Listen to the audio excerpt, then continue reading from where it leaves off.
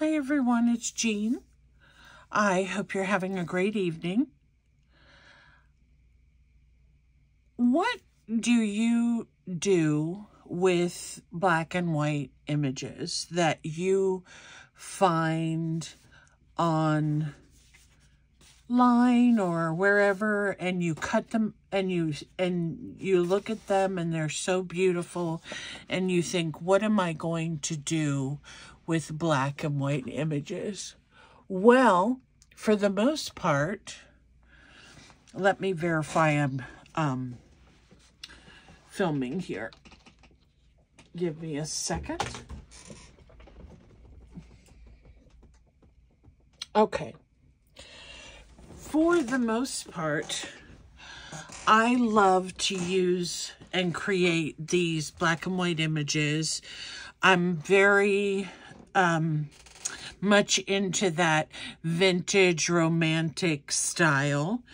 And I have created a few of these ladies that look so beautiful in their hats and their um, feathers. And I wanted to show you a way that I use black and white images in my work. So I have here two examples. And what this is, is where I've cut out the black and white image and I've used fabric where I've cut out the floral and added it to the image. And then when I'm finished, I will sew around the edges and then back it with harder cardstock. So those are the two that I wanted to try kind of as an example for you. But let's go ahead and cut out this little maiden. Now, this is really nice to use with um, black and white images. If you have some that are real, I know some people have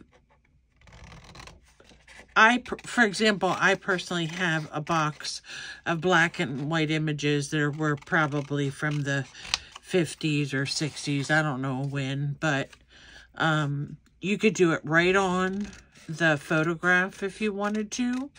Or, like I said, you can go online and print out black and white images. These I'm going to add to my Facebook group so you will have access to them. But there's another um, color that sometimes we see, and that's called sepia and it is a, a darker, like black and white, but more of a brown. And it makes beautiful images as well.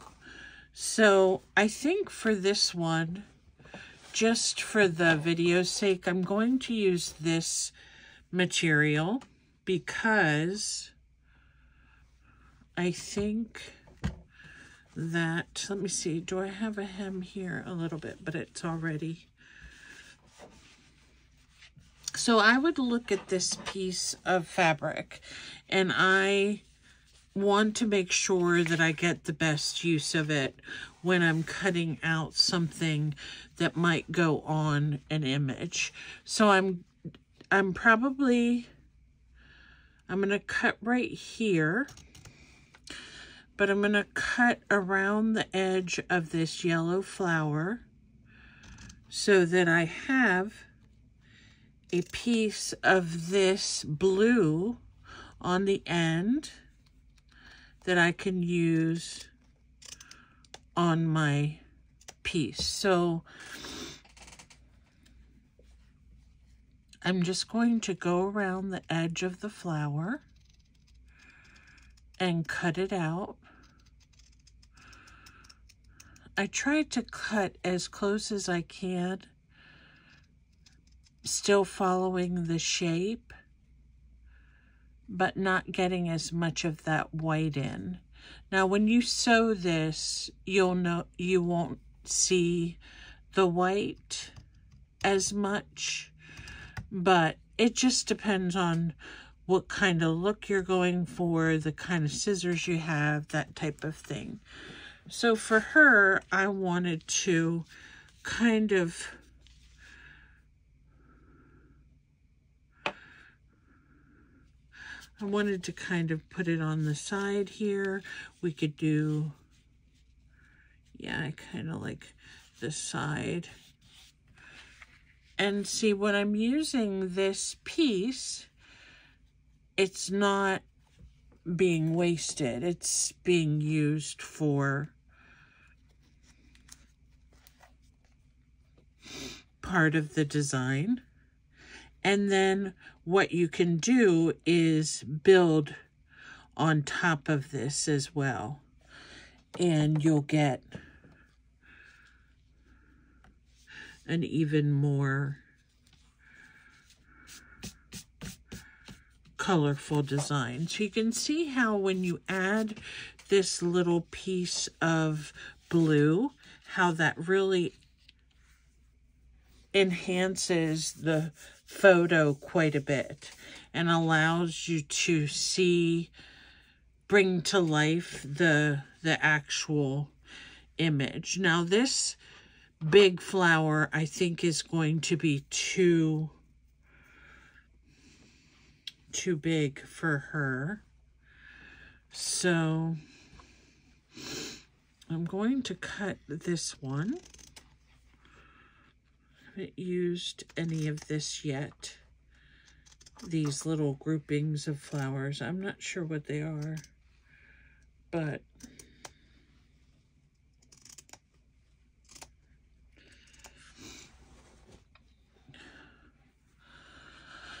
So with this one, I'm going to try to cut it out as close as I can to the design, but this one's a little bit fiddlier. Now, one thing I like about this fabric, it's either a canvas or upholstery fabric or something. It's very easy to cut and it's stiff enough that as you cut around it, it doesn't flop around. So you can cut it nice and even. You know, some fabrics are so lightweight, and if you're trying to cut an applique out of them, it can be pretty challenging. But you don't need any special fabric for this. Um, you can use anything you find that has some designs that you can cut out. Um, curtains, you can use tablecloths, you can go to the thrift store and pick up a bed sheet or something like that that has little flower designs in it. Um, so you have quite a few options as far as what you can use when you're doing this project. Now I'm going to cut this leaf off and I'm going to cut around here a little bit more. And it's all about just laying it down and seeing what works for you. Now, I just thought maybe, maybe someone would like to do this and they don't have a whole lot of fabric options. If you have any any designer papers that you get in pads of paper, like scrapbook paper, that type of thing. You can sometimes find some that have birds or that are floral, and you can cut that out and put it on as well um, and brighten up the image that way. So this is what I'm going to do with this little blue thing. Little blue flower cluster here. I'm not sure what it is. they kind of gave me the feeling that they might have been um,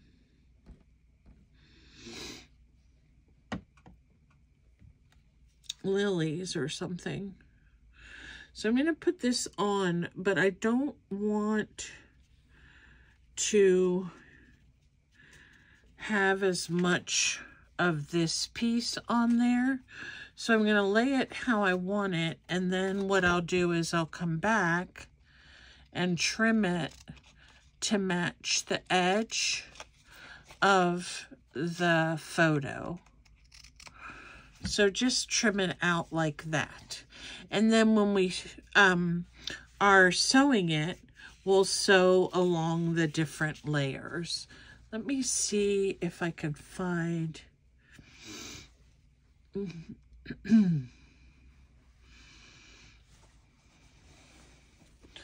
and what I try to do is I try to go around the sides and see what I can use that's close to the border because I don't want to cut right in the middle of the fabric, if that makes sense.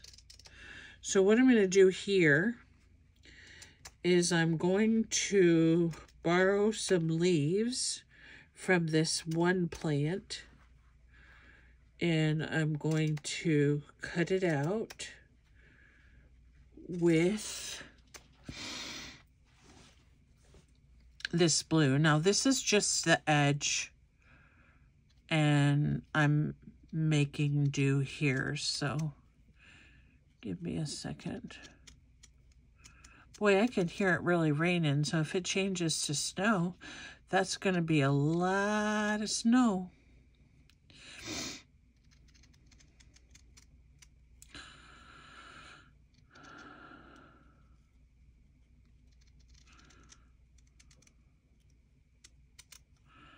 Okay, the temperature's to have to drop. I think we're still in the 40s, so that's one factor. And also, I was thinking too, you know how on paper, when we don't get quite to the edge and we want to kind of hide some of that white that we're seeing that's going around the edge of the fabric here, you can actually take a brush if you like and go around the edge. That's perfectly fine. So then it helps to mask the fact that it's all, um, that it's been cut out kind of like we do around the edges of the fabric here. So I thought she needed something else, maybe coming from the side here. So I'm going to move this down a little bit and put this on the side. That way it feels to be more even. And if you have anything like little pearls or flatbacks or something that you want to put maybe to accentuate the floral, you can certainly do that. And I was talking about birds. If you find birds or butterflies, they're really fun. I need to cut this so it looks more like a leaf. There we go. So here we have this one and this one, and then that brightens it up a little bit more. And then when I sew it, of course, um, and back it with some pretty paper, it'll look really nice. Now, um, as I was mentioning, the one, these that I have already done, um, they are backed with some type of heavier designer paper. So I would encourage you, um, if you are going to sew these, to sew them first and then back them with whatever you want. You can either back them flush or you can back them where um, they have a matted look. So what I mean by that is putting this one on top of one color and just leaving the very edge of that second color come out and then maybe even a third one if you wanted to. The great thing about doing these and taking the time to sew around the flowers and even a little uh, crazy sewing on here, you know, just to get the flowers tacked down is a good way to make the finishing touches on the project. So if you have the opportunity to sew them, they really come out quite neat. So this evening, the three I made, I made this lovely lady. And I think she looks really nice with the peach and the pink. This one I think is my favorite. This was part of a lily and then we added in some more green. And then this one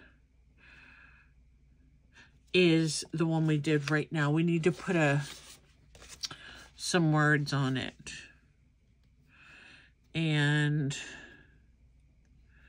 these women and their facial expressions really help you to see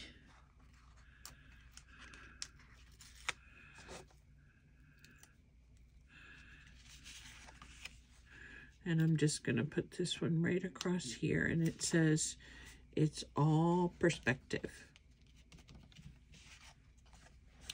So I think these are a good example of how you can use fabric appliques on black and white photos to dress up some of your journal cards, your tags, your inserts for in pockets. You can do a variety of things with these.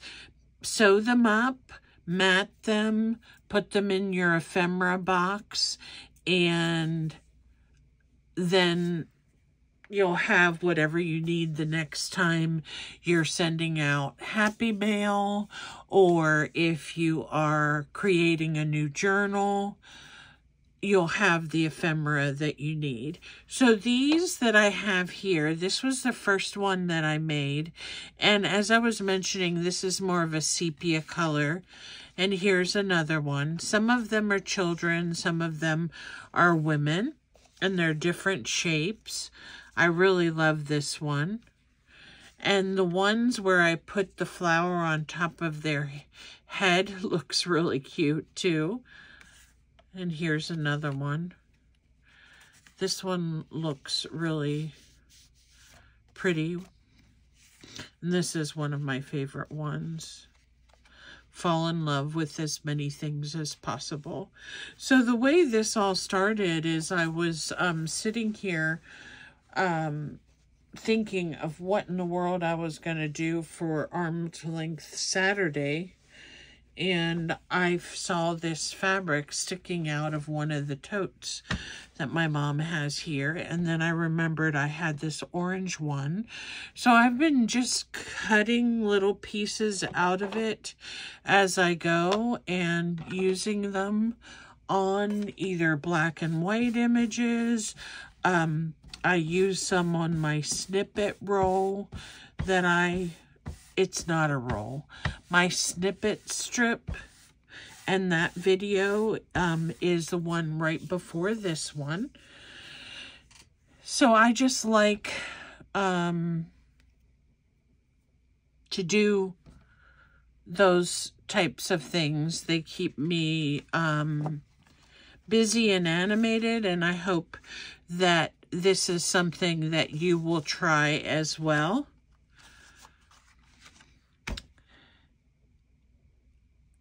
Additionally, every time I have a video, I invite you to join my Facebook group, which is Lilac Lane Livery Arts. If you join the Facebook group and you post a picture of a design that you've come up with, either a tag or a journaling card or something that you've made that's in relation to one of my videos, I will send you a little envelope in the mail with some goodies that you can use to further your creative um, works with your journal. So thank you so much for stopping by and spending some time with me this evening. And whether you try this with fabric or, or paper, I'm sure it's going to turn out beautiful. So keep me posted if you try this. Again, put it in the Facebook group. And I really appreciate your support. Thank you so much for everything. And you all have a great evening. Bye for now.